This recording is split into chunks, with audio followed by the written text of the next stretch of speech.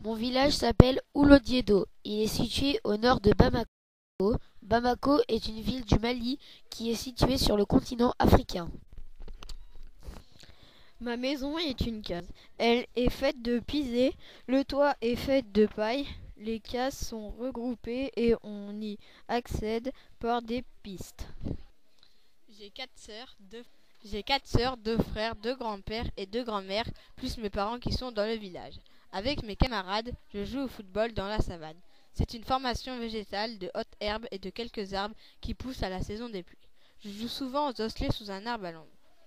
Nous sommes en août, à la fin des saisons des pluies, nous récoltons du mil. C'est une céréale avec laquelle les habitants font des bouillées ou des galettes qu'ils mangent. En rejoignant ma case, je croise mon grand-père et ma grand-mère qui récoltent des tomates. Il y a des chefs dans le village, des gens qui font leur potager.